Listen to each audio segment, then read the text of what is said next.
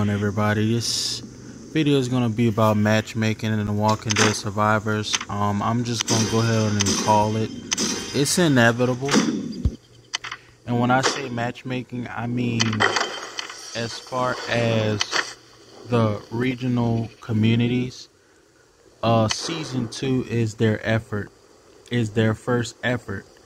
You know, the Walking Dead Survivors, that's their first effort at you know, leveling the playing field. They see that the servers die after a few months. Um, when you just leave things the way they are. And so this season 2 is not the same as restricted zone. It's not the same as lines we cross. It's a it is a map that you have to move in. Now you can move back. So um the clans that do move and participate in that, they will be able to move back and uh, deal with the you know communities and stuff that they already have. However, there won't be any separate stamina. You don't get separate resources. You don't have special rules for your troops.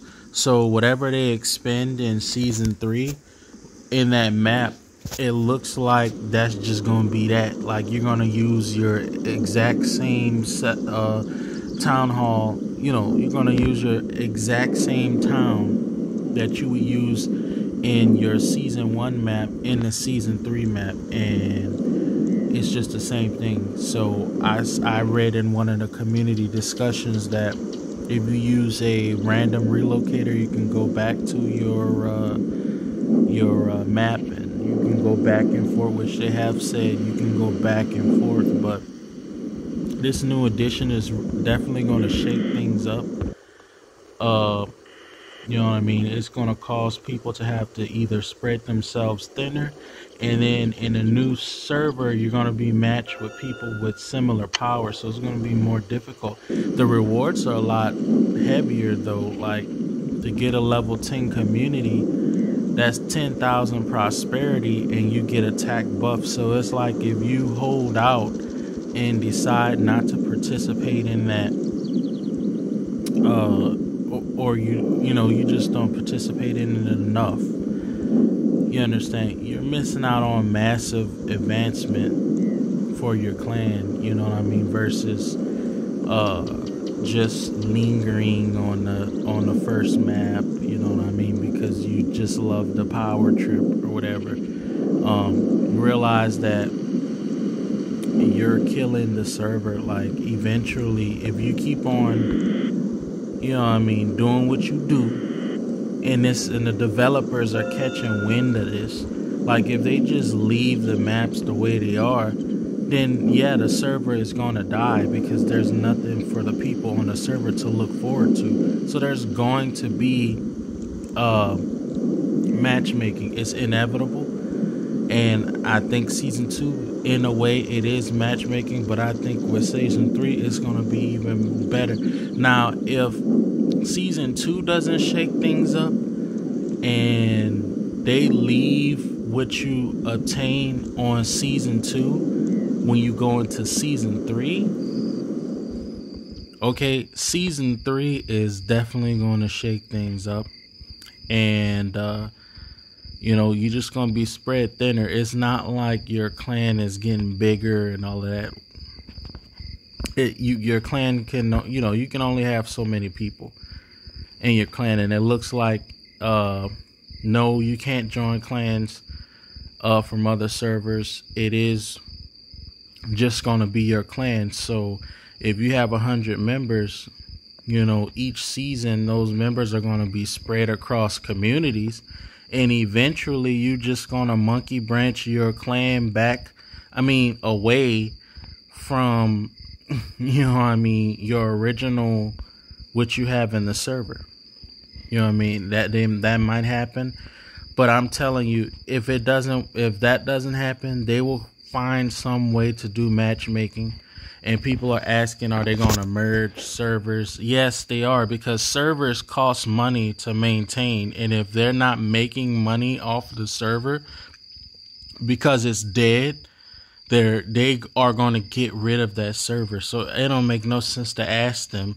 You know what I mean? And they may not know it. They may not know they're not they're going to but I know that they there will be server merges. I know there will be matchmaking from all of the professional, you know, the pro uh, competitive games I've ever played like League of Legends, just pretty much every game uh, has matchmaking. Call of Duty has matchmaking. You're going to be matched up against people of your skill level.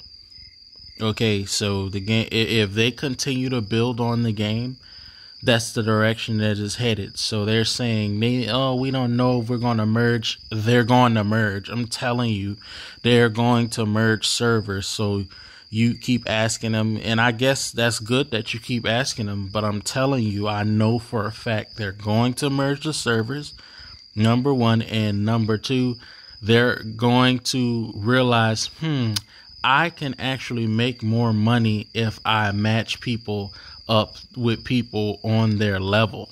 You understand? Because it's more of a challenge then. There people they're going to catch wind that they can actually make more money with matchmaking and that's what they're going to do. I'm telling you i'm calling it. I'm calling it. There will be matchmaking as far as lines um all out war type gameplay like what you're looking at right now this map there will be matchmaking uh as season 2 is the beginning and really that's it and it's it's pretty smart. Uh, and there will be server merges, so you don't even have to ask that. I'm telling you, it's going to happen. Every every MMO I've ever played is when when servers become inactive and they're not profitable anymore, they kill the server and merge the server, and you know what I mean. So there's to be server merges. Don't worry. Uh, but yeah. Uh, and possibly there will be a way for you to move characters from server to server. I don't know. But uh, the game is still evolving as long as they're still trying. You know what I mean? As long as they're still putting the effort in they're going to move, they're going to figure it out. They're going to figure out a way where they can make money and people can maximize their enjoyment of the game. I'm I'm I'm calling it right now. All right, you guys. Thanks for watching.